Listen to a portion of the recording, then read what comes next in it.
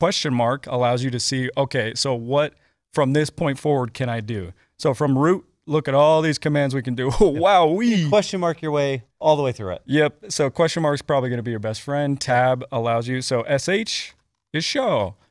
Run isn't a thing because show th- there's tiered.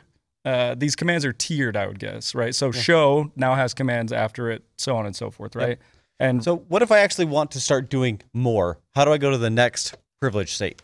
you have to get to elevate yourself. You must transcend life itself by typing enable and then pressing enter. That gets you into a privileged state, right? But it's privileged, but it didn't ask me for a password. Oh no, it didn't. Oh no, it didn't. So if you want to do that, now we'll- we'll get in. We'll get into that in just a moment. But Yeah. enable here is a more privileged state, which allows us to view now, like s- I guess you could consider it sensitive information and uh, run commands that could cause uh, interruptions on the device. If that makes sense, you're in a more privileged state, but you're not affecting configuration change, right? Okay. So So I can do like a software update or I can view things. Correct, right. So you could look at the running config. Oh, look, there's so many. Oh, oh, oh, oh, there's so many stuff here. So a lot of switches by default, I exited that running config, but a lot of switches come with default configurations. These crypto uh, chains that it generates on startup, um, you've got switch or interfaces.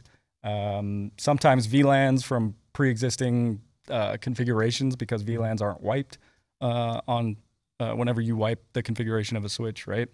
So how do we configure a switch?